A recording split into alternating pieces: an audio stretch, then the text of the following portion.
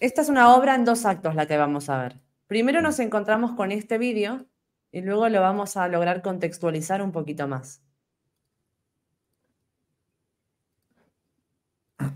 La cuenta de Lips of, TikTok nos regala esta pieza de esta cosa extraña, eh, turbia, obscena, bruta, decadente, no sé qué otro adjetivo colocarle, donde tenemos a niños besando pies de personas adultas.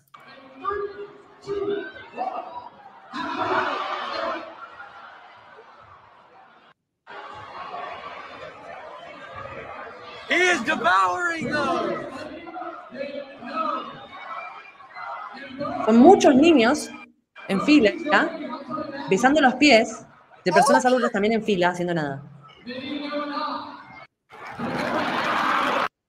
Y esto es un video snuff que salió de la Deep Web. Esto es el fetiche de un pedófilo. ¿Esto qué cojones es? Bueno, esto pasó en un colegio donde los mm. estudiantes le daban besos a los pies de adultos para un evento de recaudación de fondos. Ya. Y uno podrá llegar a decir, bueno, esto es fake, esto es Twitter, lo podría haber publicado cualquiera, podría estar... La inteligencia artificial tiene, tiene, que ser algo así. Mm. La inteligencia artificial lo habrá creado. claro, o es una escena de un de un cortometraje de bajo presupuesto, no, no sé, uno se quiere, quiere buscarle una explicación. Uno preferiría que esto no sea cierto. Eh, mm. Bueno, lo es, lamentablemente lo es, no es algo que podamos elegir. Y yo tuve, como digo, tuve que buscar un poco más de contexto en la mm. desesperada de intentar demostrar que esto no era real o que por lo menos no era tan grave como pintaba, y resulta que mm. terminé confirmando que sí lo es. Bueno. Que es peor. Es peor, exacto, es peor. No es que es tan grave, es que es peor. A ver si me lo logra traducir esto, porque el traductor de, del navegador funciona más mal que bien. Pero bueno, dice, estudiantes del colegio del distrito de Deer Creek responde luego del vídeo que muestra a estudiantes besando, chupando, como quiera llamarle, los dedos de los pies de adultos para una recaudación de fondos. Ojito, ¿eh? Porque ahora vamos a leer la actualización. Acá vamos con el posteo original. El distrito de Deers Creek eh, sacó un comunicado en el, viernes por la tarde, después de que se publicara ese video que fue enviado a Fox, que mostraba a estudiantes besando los pies de los adultos durante un evento de recaudación de fondos de la escuela. Alguien, un anónimo, dice que eh, fue sorprendente y que no creía que, los niños fueran a hacer eso, que realmente quedó choqueado. Em, realmente no sentí nada bueno, supongo que se refiere. Fue bastante asqueroso verlo. y estoy feliz de no haber acudido, supongo. No, no, no lo entendí del todo bien. Bueno, otra, esto parece que lo dice un padre anónimo también. Cuando, cuando ella me contó que ayer habían hecho eso, tuve que preguntarle, espera, ¿qué? O sea, ¿de verdad los hicieron besar los pies de adultos por esto? Y como el padre ni siquiera era capaz de comprender que hubieran puesto a su hijo en esa situación sin siquiera un aviso. Em, este era, como digo, un tema de una recaudación de fondos y después de que se hiciera viral, sacaron un comunicado. Para empezar, aclaran que el colegio aclara que no, pero no todos los alumnos participarán de esto. Todos los que, solo todos los que querían hacerlo, todos los que se presentaron como voluntarios para las pruebas que íbamos a hacer para, para recaudar fondos. Ahora, yo dudo mucho que la pregunta que hayan hecho en este colegio haya sido, a ver, niños, ¿Quién quiere chupar los pies de un adulto? No. Habrá sido, a ver niños, ¿quién se presta voluntario para formar parte de las pruebas súper divertidas que vamos a hacer hoy para ayudar a esta niña con cáncer? No sé. Em, y luego finalmente se encontraron con que la prueba divertida era chupar pies de adultos. Y además... Eh,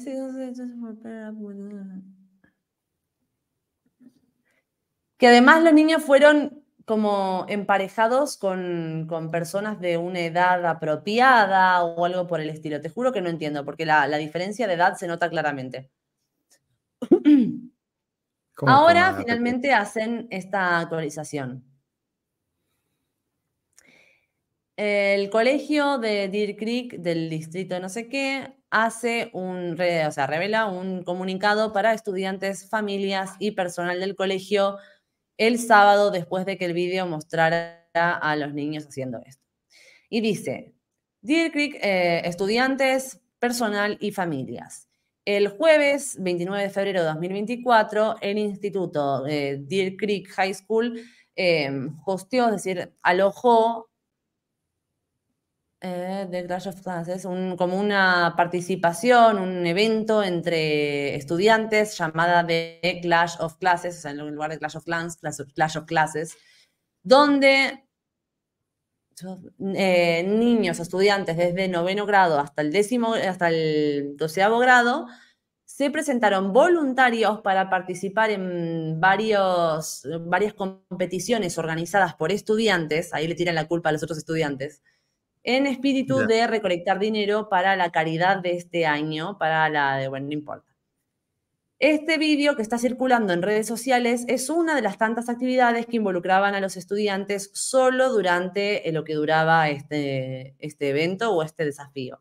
Ah, eh, em, desafortunadamente ganó atención nacional. No, desafortunadamente pusieron a niños a chupar pies de adultos. O sea, me encanta que al redactarlo, ellos ponen el infortunio sobre el hecho de que se haya viralizado, no sobre el hecho de que haya llegado a tener lugar la imagen de niños chupando pies.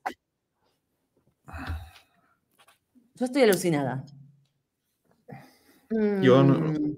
a veces no entiendo yo cómo hay este tipo de, de pensamiento, ¿no? Porque, mira, yo creo que antes, cuando éramos cazadores recolectores, pues al que abusaba de niños, pues se le bueno, se le mataba o se le echaba de la tribu. Me Ahora, pues creo que los más psicópatas y los más, los que habríamos echado de la tribu, pues eh, ahora pues tienen, mm, están en puestos de poder, están en universidades, en, medios de comunicación. No los podemos echar de la tribu. Y no, no los podemos echar porque ahora hemos, hemos renunciado a la violencia, vamos a ejercerla no, no sé, no sé por qué. Pasa a tus hijos. Dime. ¿Quién va a educar a tus hijos si mandamos a esta gente a salirse de la sociedad? Ya lo sé de educar yo. Ay, Dios mío, te lo juro. Por ese, ese es un tema que a mí realmente, si yo quiero tener hijos, es un tema que me preocuparía. Yo no sé dónde, porque igual en la educación en España, que tampoco ahora mismo yo no quiero que. España es el país donde se organizó una gincana sexual por parte del ayuntamiento, recordemos. O sea que partiendo de esa base, nada puede ser mejor. Sí, sí. bueno, y, las charlas, es que, es que, en España hemos pasado de las charlas religiosas, o sea, yo iba a un colegio de monjas y mm, religión nos daban, pues nos explicaban sobre Jesús, sobre la Biblia, sobre no sé qué. Hemos pasado de eso a charlas de eh, sexualidad a niños de no sé qué edad eran, 12 años o menos, es que ya no lo sé. Eh, y de, aspectos de como si, o qué sé, como si todos tenemos que descubrir nuestra homosexualidad interior o cosas similares. Hoy en descubriendo nuestra homosexualidad interior. Eso está pasando hoy en día. Yo no sé si es que hay como digo, como digo, intereses detrás, porque es que al final parece que no puede ser fortuito esto, ¿no? Que no, pero no, o sea, lo de la parte de verlo como una, como una conspiranoia pasó hace mucho. O sea, eso podrías pensarlo cuando era un caso, que decís, bueno, a ver, puede haber sido alguna cuestión, que fue un error, nadie se dio cuenta, ok. Pero cuando se te, terminan acumulando en tal cantidad, decís, no, lo conspiranoico es lo contrario. Lo conspiranoico es que con toda la evidencia que tenemos sobre la mesa sigamos pensando que esto es todas las veces que ocurre es de casualidad, nunca es voluntario. O sea, pusieron, no, no, sé si no me puedo acordar qué, qué ayuntamiento era, pero un ayuntamiento en Cataluña donde habían hecho en verano una actividad de una gincana infantil que promocionaban como infantil, donde les hacían recrear a los niños posiciones del Kama Sutra con globos en el medio hasta que el globo se reventaba, o poner condones con la boca con, en un palo con nata. Sí, es verdad. Eh, no me acuerdo del. Seguro que era por aquí Cataluña. Sí, Cataluña era seguro. No me acuerdo qué parte exactamente, pero sí, desde luego. Y decís, ¿cuántos pedófilos hubieron involucrados en eso? Porque hubo un pedófilo que se le ocurrió, otro pedófilo que lo corrigió, otro pedófilo que lo aprobó, otro pedófilo que imprimió las imágenes del Kama Sutra, otro pedófilo que compró los globos, otro pedófilo que hizo el flyer comunicando el día y la fecha y la hora.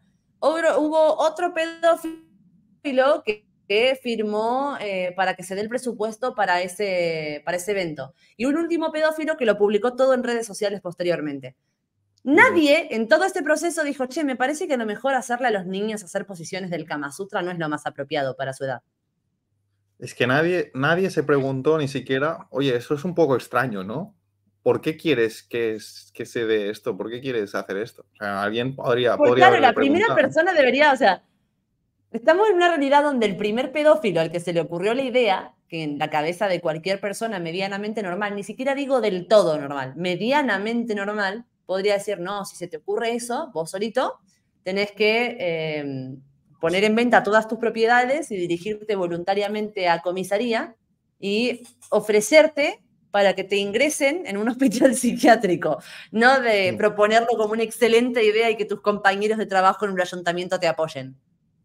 Claro, es que yo me imagino la situación. Me parece una excelente idea y, de hecho vamos a hacer que, lo, que pongan los preservativos con la boca. O sea, como la, que se van cebando, ¿no? Uno se sentó un día y digo, mm, ¿qué podemos hacer para los niños? Y si recrean decisiones del Kama Sutra, Sí, pero falta algo en eso, me parece, me parece aburrido todavía. Y salta otro diciendo, ¡Ah! que aprendan a poner preservativos con la boca y les ponemos nata y un palo y que el palo sea color piel para que se parezca más a un pene. Si quieres pasa, o sea. Ya, ya, ya. Es muy fuerte, es muy fuerte. Pues mira, yo aprovecharía el asco que nos da para explicar una, una curiosidad. Todas. Y es que ¿Sabes cuando pensamos, cuando pensamos en algo que nos da asco o cuando es algo inmoral, que consideramos que nos da asco porque es inmoral, es la misma y se activan las mismas regiones del cerebro que cuando vemos algo que nos da asco alimentario, ¿no? De, algo que, que, te da asco de alimentos. Entonces, lo de hoy tiene mucho sentido porque nos da asco lo que es alimentario y nos da asco esto. Y nos da asco inmoral, pero se activan las mismas zonas del cerebro. Por lo tanto, yo creo que incluso podrías vomitar de algo tremendamente inmoral. Eh, sí, no me extrañaría. De hecho, han habido, yo me acuerdo que un tiempo estuve alojando a una, a una amiga en mi casa que se había mudado a Madrid y en mm. esos meses ella estudiaba cine. Y en esos meses le habían mandado a, a ver la película de Lolita y hacer como todo un trabajo sobre eh, la perspectiva de esa película, si esa película promocionaba la pedo o no la promocionaba, que no sé qué, que no sé cuánto. Y claro, yo la vi con ella porque nunca la había visto, la antigua, ¿viste? La de Kubrick. Y mm. cuando la veo, claro, la vimos juntas y a mí lo que me provocaba, o sea, al final como que le di mi punto de vista a ver si le servía para el análisis que iba a hacer y digo, a mí lo que me genera esta película es incomodidad. Y creo que es en parte lo que busca hacerte sentir esa película. Porque no es una mm. película, es una película que te retrata una situación de ficción, lógicamente, eh, sobre un deseo que sí tiene lugar en la vida real por parte de algunas personas que, están manitas del coco, pobrecita, vamos a decir, pero que no te lo estás trasladando dándote el mensaje de vamos a avalar esto y esto está bien, sino porque, justamente, precisamente porque consigue hacerte sentir profundamente incómodo. Es una película que vos la ves y dices, ay, ay, no quiero ver más esto. Y esa es claramente lo que vos estás diciendo, ¿no? Una señal del cerebro de alguna forma, decir, esto es algo que naturalmente estás reprobando. Aunque veas una película que te lo pinte como lo más normal, o veas una gincana sexual organizada en Cataluña, que te lo pinten como lo más normal, si te está dando ese nivel de repulsión, quizás hay algo más. Ya, pues, pues ya ves. Bueno, entonces eh, vamos a resumirles esta información porque ya nos queda poquito y nos tenemos que ir pirando en nada con Alex. ¿Por qué pasa esto? ¿Por qué se me va ahí así? Bien, hay que hacer un caminito. El comunicado es bastante largo, pero básicamente lo que termina diciendo es que ellos tenían toda la buena intención con estas actividades, que no se dieron cuenta de que podía llegar a ser problemática de alguna forma, que fueron eh, actividades que se le ocurrieron a otros estudiantes, y vos decís, sí, se le ocurren a otros estudiantes que son críos. Entonces está en la responsabilidad del adulto evaluar qué es lo que propusieron los estudiantes y decir, esto se va a hacer, esto no se va a hacer. Porque si los estudiantes también mañana dicen que para recaudar fondos vamos a intentar tirarnos de todos los pisos del colegio y empezamos por el primer piso y terminamos en el décimo, quizás se te mueren algunos estudiantes y eso no lo, no lo permitirían, no lo aprobarían. Sin embargo, hubieron, aunque se le hubiera ocurrido a estudiantes, personas adultas acá que avalaron una prueba donde los niños se tiran al suelo y besan pies. Ya. Em, ¿Y qué interpretación le dan a esto? Bueno, realmente lo perciben como en, que claro, que el video es incorrecto, que la representación que se da en el video de la actividad es incorrecta, decime de qué manera podríamos contextualizarlo, que empezar a sonar un poco mejor, porque con contexto o sin contexto siguen siendo niños besando pies. Y que en realidad en este juego en particular, en lo que fallaron fue en no eh, sostener y respetar la dignidad de los estudiantes y el honor a su imagen y a la de su comunidad, no la de mm bueno, pervertir menores a grandes rasgos. Ya. Vaya tela. Da miedo, mm. no sé. Ahí se ha quedado. ¿Qué momento? Se ha quedado mala tarde ahora, ¿eh? ahora ¿Qué momento de la historia, no? Para tener hijos. Lo que decías vos justamente hace un rato. Bueno, mira. ¿Cómo los alimentás? ¿Qué les dicen en la escuela? Sí, yo lo plantearía de otro modo, para ser más optimistas. Ya que los tiempos están tan mal, imagínate tener un hijo que haga cosas buenas. Yo creo que puede aportar mucho en el mundo. Claro, el tema es que es una tómbola, en realidad. Ya, eh, está bien, la, educación que le pueda llegar a dar en la casa va a ser muy importante, pero la realidad es que eso lo podés controlar durante un tiempo. Cuando el chico tiene 12 años y hace sus amigos en el cole y empieza a tomar más en serio lo que le diga cualquier otra persona que es su padre porque es adolescente y se revela, básicamente. Es que lo del colegio es tremendo. A todos los riesgos que ya existen asociados al hecho de tener hijos, que bueno, lo, normal, ¿no? Que uno quiere que sea buena persona, que no termine sin ser un criminal, un drogadicto, que no le hagan bullying en el cole, eh, cosas normales del día a día, sumale que ahora te tenés que preocupar porque no lo hagan besar pies en el cole, porque si va a la casa de un compañero no le den de comer eh, eso, que ni siquiera sé ponerle nombre, que vimos al principio, y por no irnos más allá de que el otro día vi un pequeño fragmento de las pistas de Blue, no sé si existía en España las pistas de Blue. Mm, Blue. Este que era como, un, dibujo de un perrito azul, eh, azul ah. celeste muy mono, con un tío que iba con una pero no, Lo he visto, pero no, no, no, no, estaba Era un dibujo súper inocente. Yo lo veía de chiquita. Encontraremos una huella y esa es la primera. En la libreta la anotamos, son pistas de Blue. Bueno, el otro día me encontré una escena de lo que es las pistas de Blue ahora y aparece una drag queen hablando de géneros no binarios con un castor con una doble mastectomía hecha. Porque siguen haciendo episodios y este era uno de nuevo, ¿no? O ya era de. Así, esta es la temática nueva de las pistas de blues. Ah, está bien, vale. Sí. No, está mal, ¿eh? Para intentar enseñar a los niños a tener unos principios fuertes, a ser independientes, a ser personas fuertes y buenas. ¿Sabes lo que pasa? Que te ponen en un compromiso. Eso es lo que pensaba yo, porque si vos tenés un hijo y ve las pistas de Blue y ve algo como eso, y ve lo de los géneros no binarios. Y viene y te dice, papá, papá, ¿qué es un género no binario? Y vos le digas, nada. El problema no se lo causaste vos, la confusión no se la causaste vos, se la causó el programa. El niño no va a entender que tu respuesta sea nada, porque si lo están mencionando algo será. Bueno, yo creo que, ah, como decían aquí, ¿no? Que a los niños no puedes controlarlos, no puedes tampoco intentar hacer que piensen como, como tú o que hagan lo que tú quieres, pero sí que puedes enseñarles y además a través de la, del propio ejemplo, de, a, pues a tener unos principios fuertes, a saber decir que no, a no mentir, a, reconocer, a incentivar su sentido crítico. que aprendan a cuestionar. a cuestionar. Y hubo un reel que me salió por Instagram que me gustó mucho y, y lo que pasaba era, era, salía como una niña que se estaba columpiando con su padre y había un niño que quería columpiarse en ese columpio, ¿no? Y el niño se ponía como a llorar o a quejarse o a hablar con su madre en plan entre lloriqueos, ¿no? Y la niña eh, pues se lo miraba. Y el padre lo que hizo es, le preguntó a la niña, em, ¿por qué crees que llora? Y la niña pues decía, pues eh, llora porque está triste y no sé qué. Y el padre le seguía preguntando, ¿no? O sea, y él explicaba en el vídeo, o el vídeo explicaba, que eh, lo que estaba haciendo en ese momento el padre era muy bueno porque lo que estaba dando a paso a que la, que la niña no le dieran una respuesta ya prefabricada, sino que se cuestionase y, por, con esa cuestión pudiera empatizar con el niño, ¿no? Porque el padre en ningún momento le daba la respuesta. ¿Y qué crees que podemos hacer para que el niño no llore? ¿Y cómo podemos ayudarle?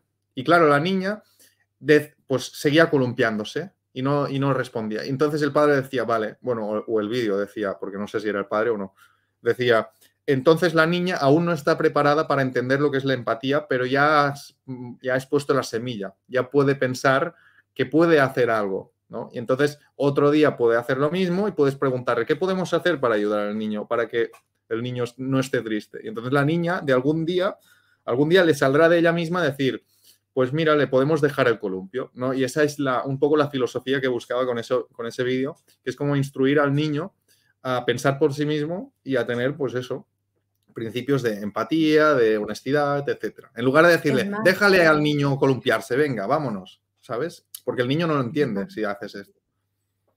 Claro, lo, entiende como una norma que tiene que seguir sin un motivo concreto, que no comprende, es una norma arbitraria que no, que no logra comprender. Y se puede revelar y se puede revelar. Pues no quiero dejarle al niño. Totalmente, totalmente. Es más, voy a decir algo medio polémico en contexto con eso, con lo que dice Alice. Ojo que también se te puede ir la mano enseñándole a cuestionar. Sí, pero si me preguntas a mí, yo no soy madre, no, sé quién, no soy quien para opinar, pero si me preguntas a mí, creo que ante la dicotomía es preferible tener un niño que cuestione demasiado que, demasiado que uno que no cuestione nada. Porque si no te ah, cuestiona nada a vos, no le va a cuestionar nada al resto tampoco. No, ni, ni al Estado. Exacto. Entonces yo prefiero que venga un niño y me pregunte por qué a todo 500 veces al día, pero que después cuando esté en el cole y le diga, no, porque los géneros no binarios y tu masculinidad, que también diga, ¿por qué? Es que lo peor que hay es esto, de eh, lo que hacen muchos padres, ¿no? Imagínate un niño preguntando, ¿y por qué tenemos que pagar esto? ¿Y por qué y tú, en lugar de, explicarle, pues mira, hay que pagar esto a esta persona porque tal, y además hay una parte que es para eh, el gobierno, y el niño te pregunta, ¿y por qué el gobierno quiere dinero? Y tú le digas, pues porque sí, pues no, tienes que ir, pum, pum, pum, pum. Y ahí está la paciencia, ¿no? De los padres, de la edad del por qué, pues por algo está la edad del por qué, pues por eso. Yo entiendo que, claro, cuando es, esa edad de los porqués surge cuando estás ah, eh, cocinando, haciendo la comida y al mismo tiempo el otro niño te está preguntando ayuda para los deberes y al mismo tiempo estás queriendo resolver una no sé qué. Bueno, te puede llegar a saturar el porqué. Pero también es verdad que creo que es una de las etapas más disfrutables y donde uno más, uno más capacidad tiene para realmente educar a ese menor. Así que si se cansan algún día de los porqués de sus hijos, recuerden que si no se los das vos, se lo va a dar el colegio. Sí, sí, sí, exacto. O el Estado también. Totalmente. Exacto. Bueno, que es, viene siendo lo mismo a esta altura, lamentablemente. o los medios de comunicación, que también. Que es todo un poco lo mismo, con la misma mierda, diferente olor. Bueno. Qué bueno, yo creo que con esto mm,